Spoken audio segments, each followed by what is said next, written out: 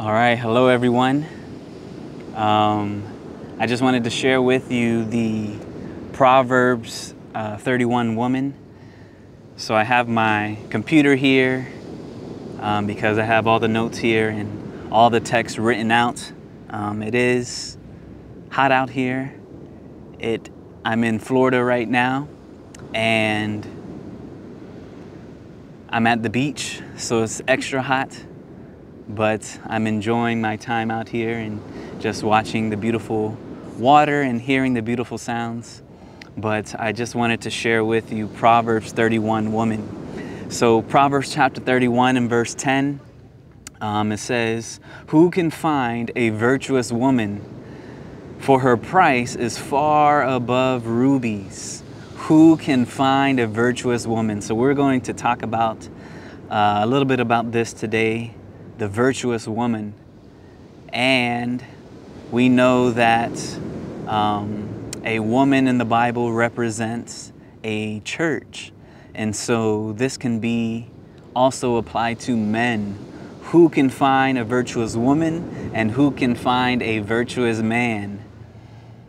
For her price, for his price is far above rubies. But in particular, this is talking about a woman and especially they have to be virtuous if you're going to marry them. So, what does Webster's dictionary say about virtuous? It says being in conformity to the moral or divine law as a virtuous action, a virtuous life.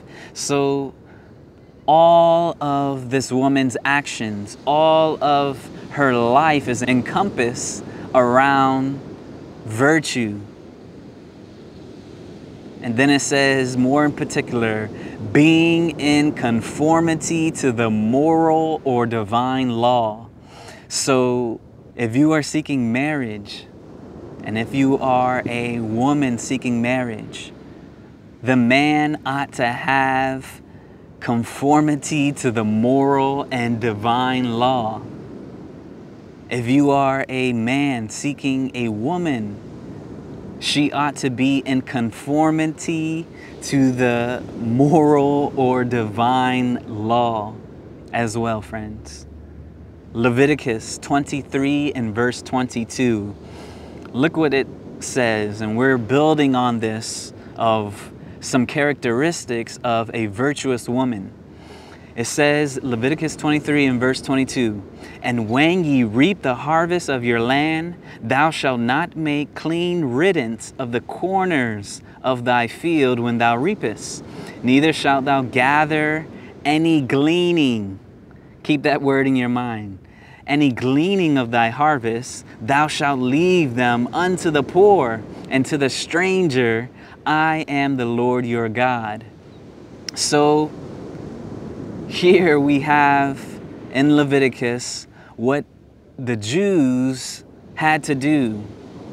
If you had a field, you were to set aside a portion of that field for the poor, for the stranger to be able to gather, be a part of the gathering of the harvest.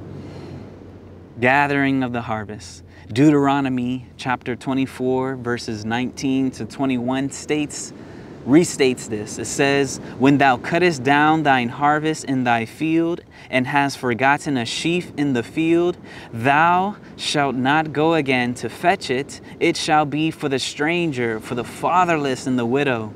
And the Lord thy God may bless thee in all thy work of thy hands. So now it adds more elements to it not only the stranger, not only the poor, but it says the fatherless and the widow. Keep that in your mind. Then it continues to read, it says, When thou beatest thine olive tree, thou shalt not go over the boughs again. It shall be for the stranger, for the fatherless, for the widow.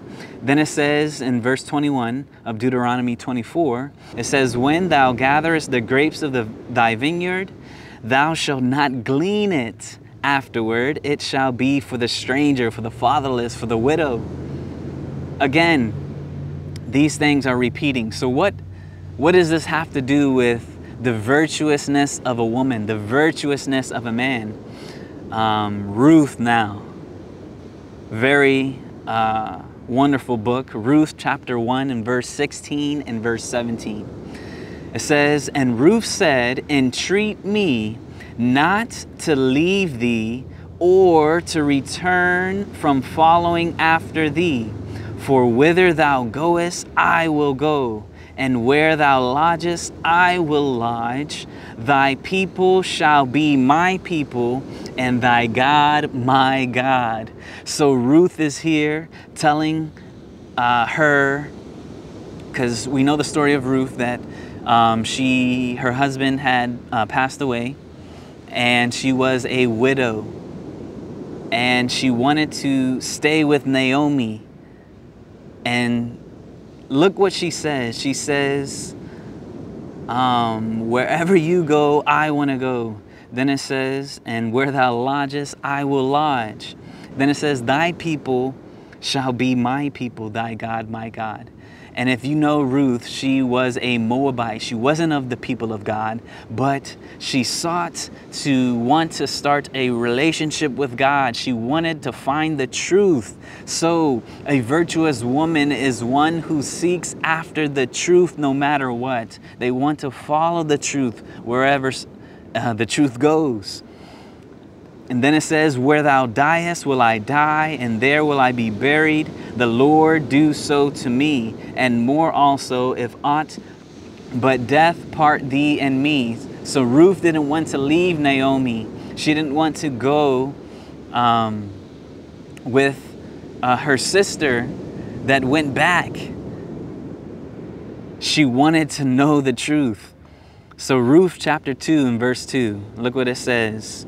And Ruth the Moabitess said unto Naomi, Let me now go to the field and glean ears of corn.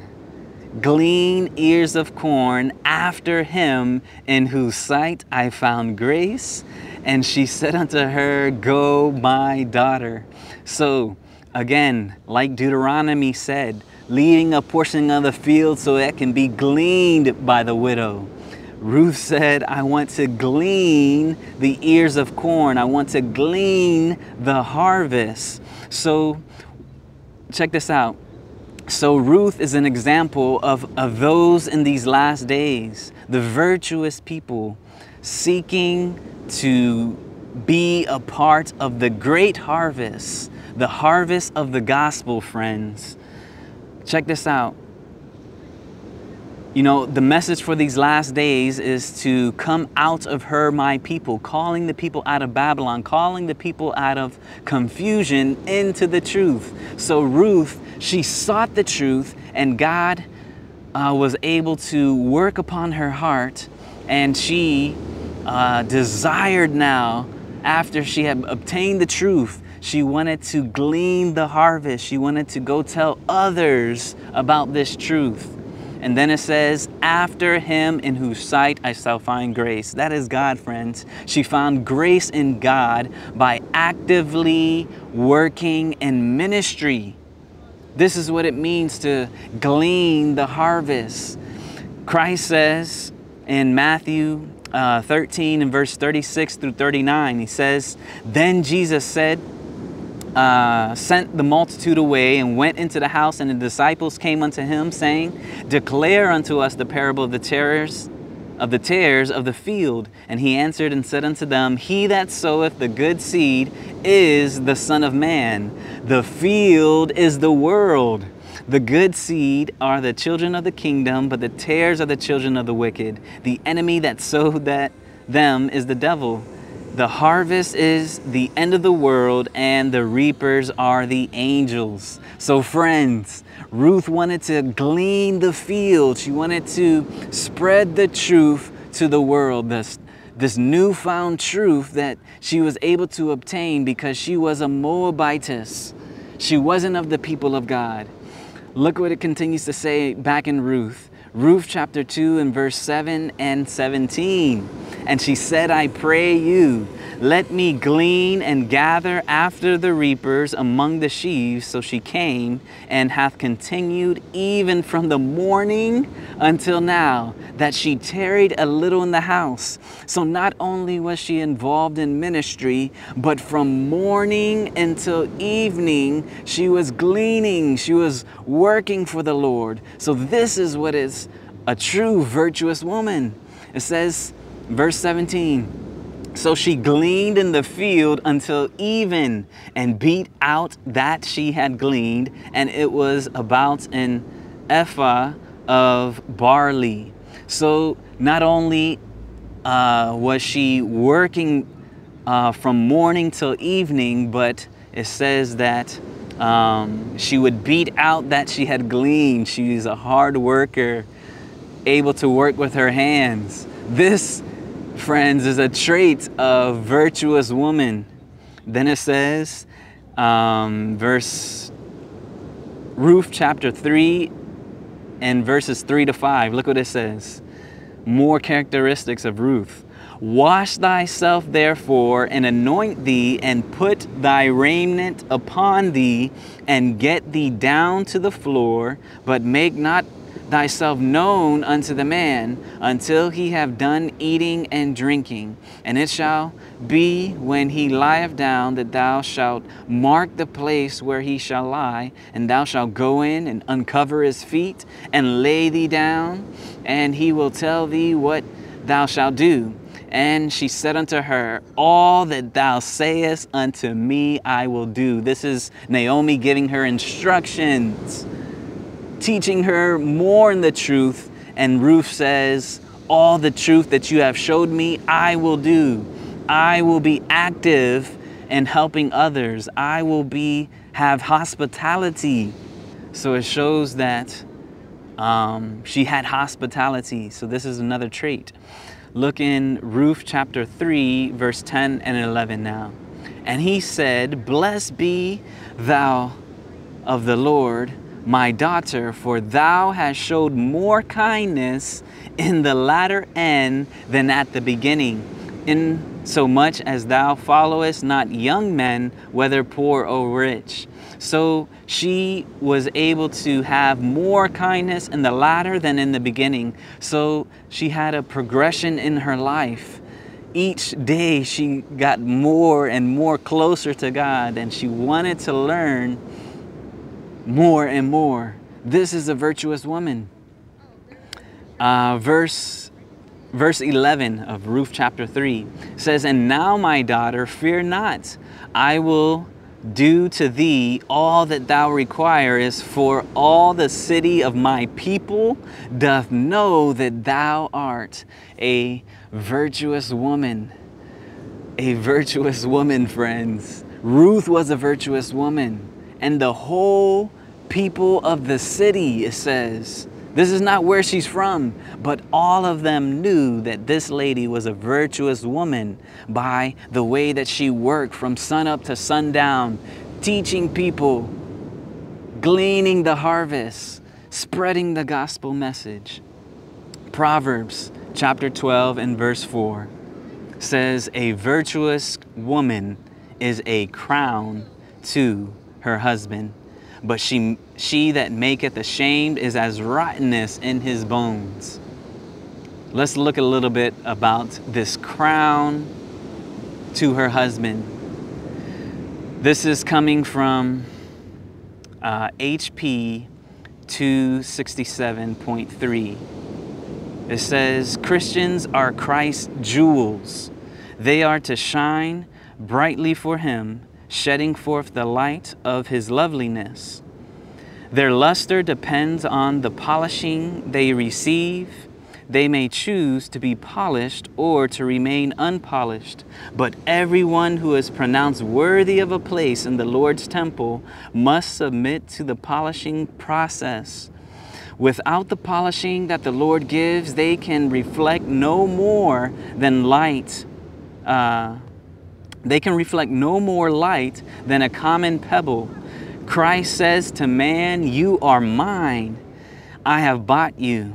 You are now only a rough stone, but if you will Place yourself in my hands, I will polish you, and the luster which you shall shine will bring honor to my name. No man shall pluck you out of my hand. I will make you my peculiar treasure. Then it says, On my coronation day, you will be my jewel, my crown of rejoicing. Jesus will be proud of us as we take upon his gospel, as we uh, fully serve him and are committed to his will. We will be a jewel in his eyes, in his crown of rejoicing, and he's going to rejoice. All of heaven will rejoice when we take hold of the gospel. This is what it means to a virtuous woman is a crown to her husband. So as um, the husband and the wife, the wife is a rejoicing matter to her husband. He's going to be proud of her in everything that she does, especially as she seeks to minister to others. So I hope that this was a blessing to you. I hope that um, you seek out more these principles of the virtuous woman. This is just the beginning of the text. Who can find a virtuous woman? Have you found the virtuous woman? Have you found the virtuous man? May God help us. Blessings.